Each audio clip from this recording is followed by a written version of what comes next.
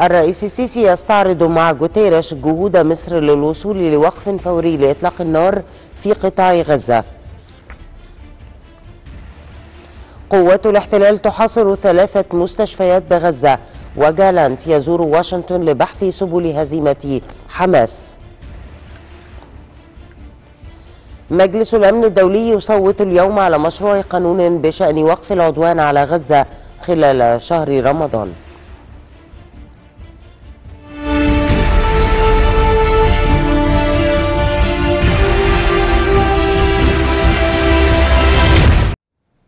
أخبار السابعة. نشرة إخبارية جديدة تأتيكم من شاشة قناة النيل للأخبار.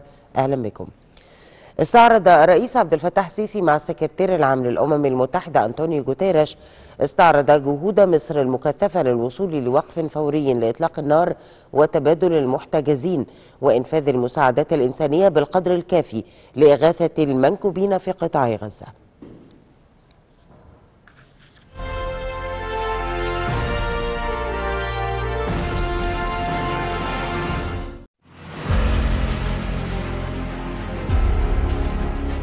استقبل السيد الرئيس عبد الفتاح السيسي بقصر الاتحادية السيد أنطونيو جوتيريش سكرتير عام الأمم المتحدة بحضور السيد سامح شكري وزير الخارجية ولواء عباس كامل رئيس المخابرات العامة والسيد فيليب لازاريني مفوض عام وكالة الأمم المتحدة لغوث وتشغيل اللاجئين الفلسطينيين الأونروا والسيدة إلينا بانوفا المنسقة المقيمة للأمم المتحدة في مصر.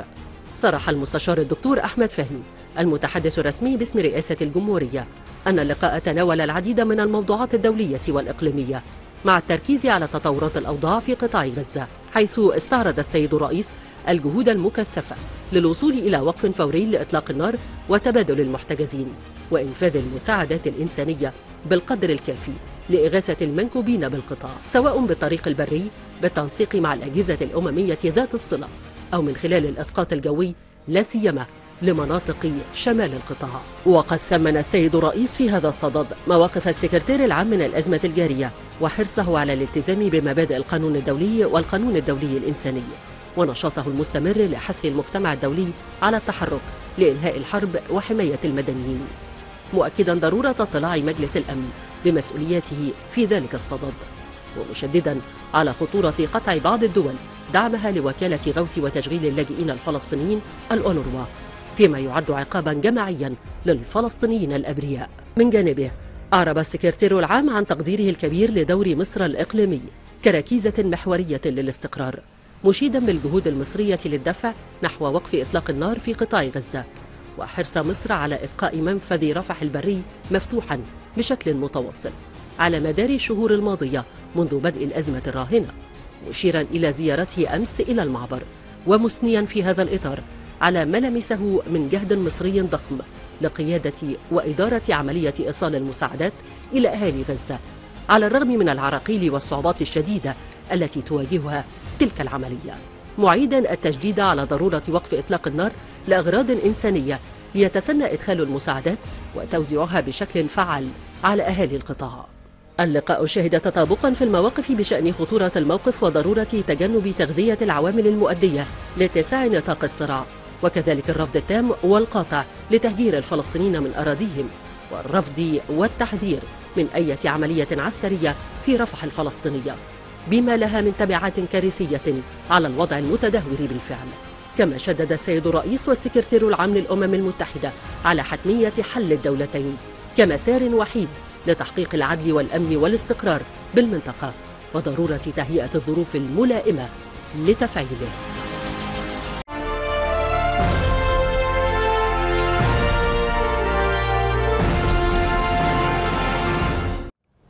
استقبل فضيلة الإمام الأكبر الدكتور أحمد الطيب شيخ الأزهر الشريف استقبل أنطونيو جوتيريش السكرتير العام للأمم المتحدة.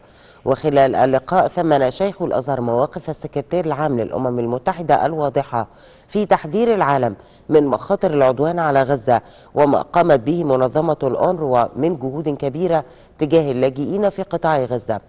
وشدد فضيلة الإمام الأكبر على أن ما يحدث في غزة يهدد بهدم جهود التواصل والتقارب بين الشرق والغرب مشيرا إلى أن ردود فعل المجتمع الدولي تجاه العدوان على غزة جاءت محبطة ومخيبة للأمل.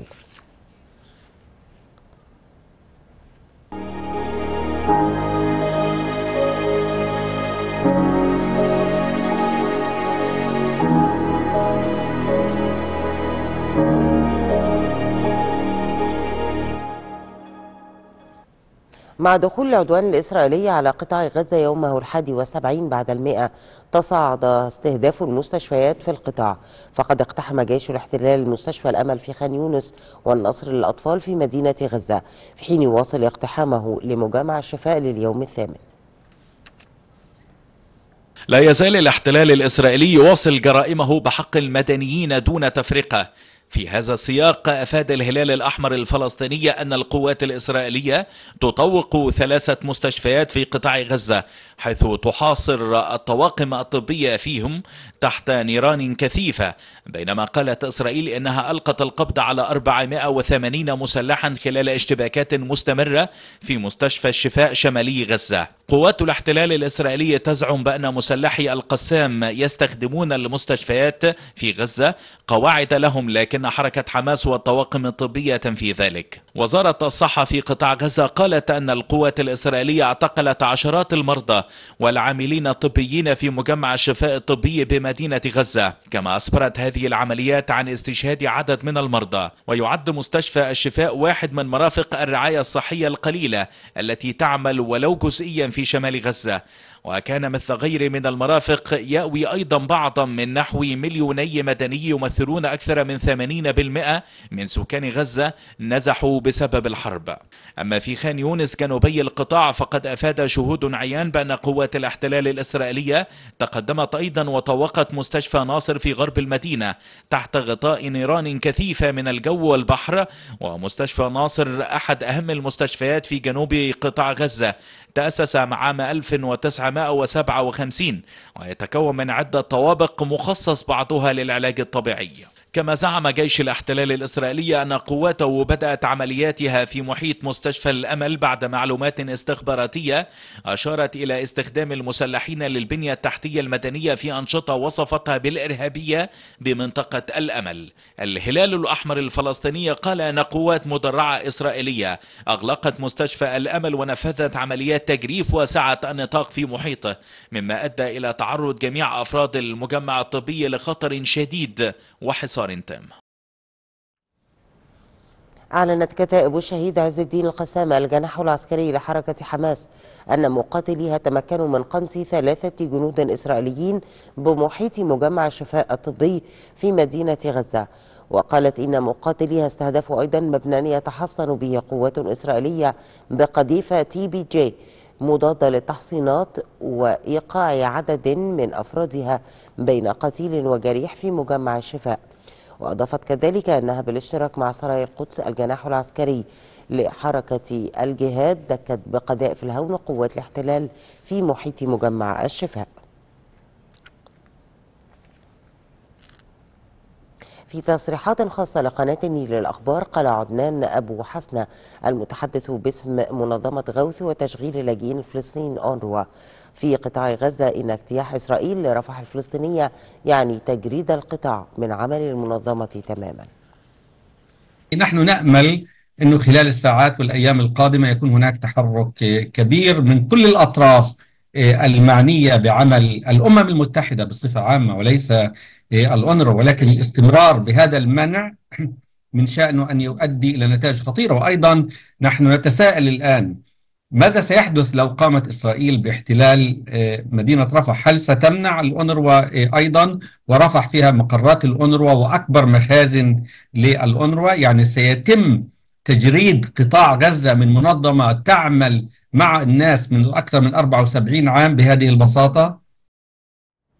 في سياق متصل أعلنت الأونروا أن إسرائيل منعتها نهائيا من توصيل مساعدات لشمالي قطاع غزة. وقالت المتحدثة باسم الأونروا جولييت توما إن القرار تم إعلانه خلال اجتماع مع مسؤولين عسكريين إسرائيليين أمس وجاء بعد رفض مكتوب لتسيير قافلة إلى الشمال الأسبوع الماضي. كما أكدتهما أن إسرائيل لم تقدم أي تبرير لهذا القرار. قال يواف جالانت وزير الدفاع الإسرائيلي لدى مغادرته إلى الولايات المتحدة إن زيارته لواشنطن تهدف في المقام الأول إلى الحفاظ على التفوق العسكري لإسرائيل. هذه رحلة مهمة وهي تركز في المقام الأول على الحفاظ على الميزة النوعية العسكرية لدولة إسرائيل وقدرتها على الحصول على أنظمة دفاع جوي وذخائر. إضافة إلى بحث العلاقات مع الولايات المتحدة والحاجة المشتركة إلى تحقيق الأهداف في غزة وهزيمة منظمة حماس وإعادة المخطوفين وإقامة ما نحتاجه لأمن إسرائيل أمام قطاع غزة أولا وأيضا أمام لبنان. ذكرت تقارير إسرائيلية أن تل أبيب وافقت على مقترح أمريكي بالإفراج عن 700 أسير فلسطيني مقابل 40 محتجزا إسرائيليا لدى فصائل المقاومة الفلسطينية. ونسبت هيئة البث الإسرائيلية إلى مسؤول إسرائيلي تصريحات عن استعداد تل أبيب لتقديم ما وصفه بتنازلات كبيرة من أجل إبرام صفقة لاستعادة من وصفهم بالمختطفين. وقال إن إسرائيل عرضت إطلاق سراح سبعة من أصحاب المؤبدات الفلسطينيين دون فيتو على الأسماء مقابل كل جندية تفرج عنها حماس. في الوقت نفسه ألغى مجلس الحرب الإسرائيلي جلسة كان مقررا أن يقدم فيها مدير الموساد إحاطته بشأن مفاوضات الهدنة في غزة. يصوت مجلس الأمن الدولي اليوم على مشروع قرار تقدمت به الدول العشر المنتخبة في المجلس يطالب بوقف إطلاق نار فوري في غزة خلال ما تبقى من شهر رمضان. وأفادت تقارير أن الولايات المتحدة لن تستخدم حق النقد الفيتو ضد مشروع القرار لإبطاله. أكد الرئيس الفرنسي إيمانويل ماكرون مجددا معارضته الصارمة لأي هجوم إسرائيلي على رفح محذرا من أن النقل القسري للسكان يشكل جريمة حرب. وكرر خلال اتصال هاتفي مع رئيس الوزراء الإسرائيلي بنيامين نتنياهو دعوته لوقف فوري ومستدام لإطلاق النار في غزة. وأبلغ رئيس الوزراء الإسرائيلي نيته تقديم مشروع قرار إلى مجلس الأمن الدولي يدعو إلى ذلك. أعلن حزب الله اللبناني أنه استهدف تجمعا لجنود إسرائيليين في تل طيحات قبلة بلدة ميس الجبل اللبنانية بالأسلحة الصاروخية وقذائف المدفعية وحقق فيهم إصابات مباشرة. في وقت سابق من أمس أعلن الحزب مقتل اثنين من عناصره في ضربات شنتها إسرائيل بعد غارات في شرق لبنان أسفرت عن مقتل مدني. كما قتل مواطن سوري أمس في ضربة إسرائيلية استهدفت سيارة في منطقة السويري بشرق لبنان. هدد بيني جانتس رئيس حزب المعسكر الوطني عضو حكومة الحرب الإسرائيلية. هدد بالاستقالة من حكومة الطوارئ إذا أقر الكنيست التشريع المقترح الذي يبقي على إعفاء اليهود المتدينين من الخدمة العسكرية الإلزامية.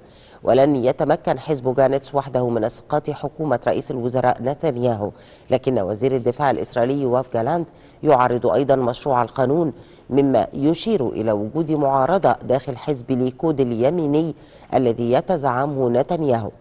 هذا وتطالب الأحزاب الدينية المتشددة التي تمثل نحو 13% من سكان إسرائيل وهي شريكة في الحكومات المتعاقبة بقيادة نتنياهو تطالب بالسماح لناخبيها بالدراسة في المعاهد اللاهوتية بدلا من الخدمة في الجيش.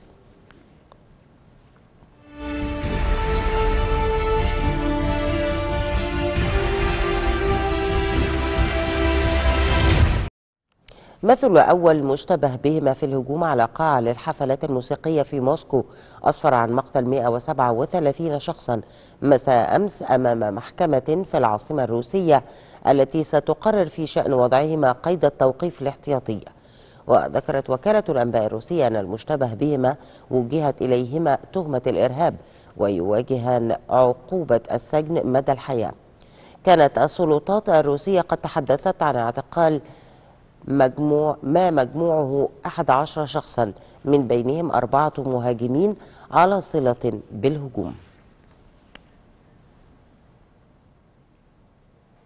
أعلن عدد من مرشحي المعارضة في الانتخابات الرئاسية في السنغال أمس الأحد فوز منافسهم باسيرو ديوماي فاي بعد أن أظهرت النتائج الأولية تقدمه مما دفع أنصار المعارضة للخروج إلى الشوارع للاحتفال مبكرا. في انتخابات وصفها المراقبون بأنها تأتي على وقع أزمة سياسية كبيرة. تتواصل في السنغال عملية فرز الأصوات بعد انتهاء الدورة الأولى من انتخابات رئاسية حيث دعي أكثر من سبعة ملايين ناخب إلى الاختيار بين سبعة عشر مرشحا بينهم امرأة.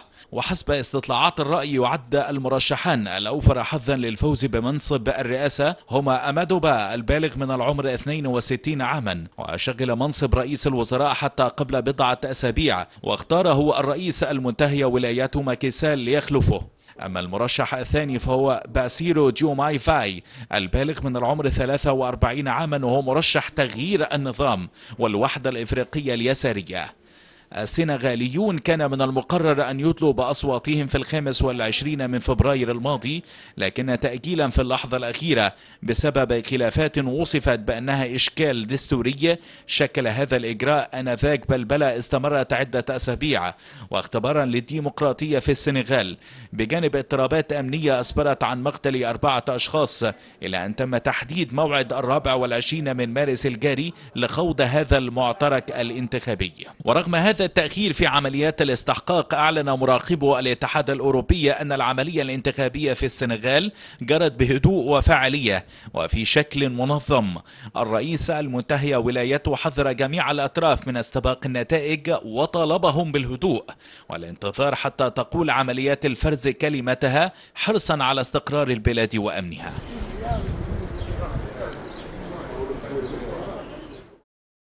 وافق المجلس الدستوري في تشاد على أسماء عشرة مرشحين للانتخابات الرئاسية من بينهم الرئيس المؤقت محمد إدريس ديبي ورئيس الوزراء المعين حديثا سوكسيه ماسرا تعقد الجولة الأولى من الانتخابات الرئاسية في مايو المقبل في إطار الانتقال إلى الديمقراطية من حكم المجلس العسكري.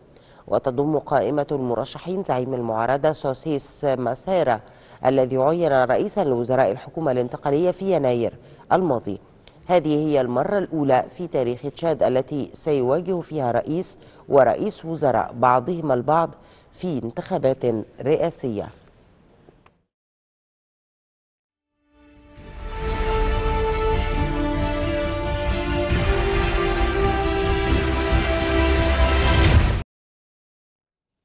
برعاية الأمين العام لجامعة الدول العربية وبالتعاون المشترك بين الأكاديمية العربية وتحالف اليونسكو أقيم مؤتمر صحفي للإعلان عن موعد المؤتمر الدولي للثقافة الإعلامية والمعلوماتية. يعقد المؤتمر في الفترة من الثاني والعشرين من إبريل إلى الرابع والعشرين من الشهر ذاته بحضور عدد من الخبراء والمعنيين والمتخصصين في الإعلام بكافة أشكاله ووسائله. تحت مظلة جامعة الدول العربية وبالتعاون مع الأكاديمية العربية يقوم تحالف اليونسكو للثقافة الإعلامية والمعلوماتية بتنظيم مؤتمر دولي مهم عن دور الثقافة الإعلامية في دعم التفاهم والسلام العالمي وذلك في الفترة من الثاني والعشرين إلى الرابع والعشرين من إبريل القادم. هذا المؤتمر بيأتي في وقت يعني مهم جدا. ولازم نجتمع كلنا ونشوف ماذا سيفعل الإعلام في وسط التحديات الكبيرة اللي بتواجهه النهارده وانتشار وسائل الاعلام الرقمي ومنصات التواصل الاجتماعي والأخبار الزائفة وكل التحديات اللي إحنا بنواجهها كيف للإعلاميين أن يجلسوا جميعا مع كل الخبراء مع كل أصحاب العلم ونجلس جويا سويا ونخرج بالعديد من التوصيات اللي تكون فيها فعلا يعني يعني مبادئ وقيم وأخلاقيات للإعلام. يهدف المؤتمر بشكل خاص إلى التوعية بالدور المهم الذي يمكن أن تلعبه وسائل الإعلام من أجل التوعية بالثقافة الإعلامية والمعلوماتية وخاصة للشباب وصغار السن. أصبحت وسائل التواصل الاجتماعي منصات للخطاب الكراهية والأخبار الكاذبة والمعلومات المضللة. فإحنا طبعا فكرنا إن إحنا نعمل المؤتمر ده عشان نوعي الجماهير بشكل عام والشباب بشكل خاص على أهمية التعامل مع وسائل الإعلام بالشكل الصحي وبشكل سليم توعية الشباب أمر مهم جدا جدا وتنشئته التنشئة الصحيحة على على التفكير النقدي وألا يكون مستودع يلقى فيه جميع الأخبار الزائفة والأخبار غير الحقيقية فهو مؤتمر هدفه الرئيسي توعية الشباب وده أمر مهم جدا جدا بجميع وسائل الإعلام الأخرى. وسائل الإعلام لا تزال ضرورية للتواصل وكمصادر رئيسية للمعلومات والأخبار مما أصبح من الضروري إدارة الاعتماد عليها بشكل حذر لتفادي التأثيرات السلبية لها. في ظل الأحداث الراهنة التي يشهدها العالم وضرورة التغطية الإعلامية المتوازنة لها عقد هذا المؤتمر الصحفي للإعلان عن المؤتمر الدولي والذي يهدف إلى تسليط الضوء على دور الثقافة الإعلامية والمعلوماتية في ظل التعاون المشترك والسلام الدولي من مقر انعقاد المؤتمر نشوى صالح النيل الأخبار. نظم المجلس الأعلى للثقافة ندوة المرأة والإعلام وتحديات العصر في إطار الاحتفال باليوم العالمي للمرأة بمشاركة نخبة من الإعلاميين والحقوقيين والمتخصصين في مجال المرأة. في إطار الاحتفال باليوم العالمي للمرأة عقدت ندوة بعنوان المرأة والإعلام وتحديات العصر. وذلك تحت رعاية وزارة الثقافة بمشاركة نخبة من الإعلاميين والحقوقيين والمتخصصين في مجال المرأة. احتفالنا بالمرأة باليوم العالمي للمرأة وبعيد الأم وبتاريخ مشرف للمرأة المصرية اللي أهدت لمصر رجالات يعني قمم في كل المجالات. يعني مثلا لما نلاقي أم علي باشا إبراهيم اللي هو الطبيب الشهير واللي عمل القصر العيني واللي طور الدنيا دي كلها سيدة بسيطة جدا تكاد تكون أمية كافحت علشان ابنها يصل إلى هذا المكانة ويبقى هو طبيب الملك ويبقى طبيب عالمي ليه وزن كبير جدا. فالحقيقة الاحتفاء بالمرأة هو تقدير لكل امرأة مصرية ساهمت في رفعة هذا الوطن. خلال الندوة تم استعراض عدة محاور وتجارب المرأة في المجتمع المصري. المحور الاجتماعي وده جميل وده جميل ده جدا في الندوة إنها فكرة إن التعامل مع المرأة في ما هوش تعامل منفرد. لا ده لازم يكون له تعامل من خلال أكتر من محور وأكتر من منظور. لأن الحقيقة أنا دايما عندي رأي في حكاية صورة المرأة إن إحنا ما نتعامل مع صورة المرأة في من منظور سطحي. لا ده إحنا لازم ننظر لها من منظور اجتماعي والثقافه المجتمعية اللي موجودة فيها من منظور اقتصادي دور المرأة في التنمية. والدة البطل عبد الله مصطفى ولد من احتياجات خاصة طفل توحدي. فالحمد لله اشتغلت معاه كتير ان أوصل بيه. يعني الحمد لله دلوقتي عبد الله بطل في السباحة وفي الكاراتيه وربنا رزقني ببنتين توأم قبل عبد الله واحدة الحمد لله معاها ليسانس حقوق والتانية بكالوريوس تجارة. والحمد لله أنا ب يعني بطلب من كل أم إن هي تشتغل مع أولادها وإن هي ت... وبالذات الأطفال الاحتياجات الخاصة لأن هم بيحتاجوا رعاية واهتمام أكتر من الطبيعيين. تم التأكيد خلال الندوة على أهمية تمكين المرأة في مختلف المجالات بالإضافة إلى عرض نماذج للمرأة التي قدمت تضحيات من أجل بناء أبنائها وتقديم نماذج ناجحة في المجتمع المصري. تأتي هذه الندوة في ظل الاحتفال بيوم العالمي للمرأة وأهمية دورها في بناء المجتمعات من خلال إنشاء أجيال قادرة على المساهمة في بناء المجتمعات. منذر أبو دوح النيل الأخبار في ختام هذه النشرة هذا تذكير بأهم ما جاء بها من أخبار. الرئيس السيسي يستعرض مع جوتيريش جهود مصر للوصول لوقف فوري لإطلاق النار في قطاع غزة. قوات الاحتلال تحاصر ثلاثة مستشفيات في غزة وجالانت يزور واشنطن لبحث سبل هزيمة حماس. مجلس الأمن الدولي يصوت اليوم على مشروع قرار بشأن وقف العدوان على غزة خلال شهر رمضان. للمزيد من التفاصيل زوروا موقعنا على الإنترنت نايل دوت إي جي. إلى اللقاء.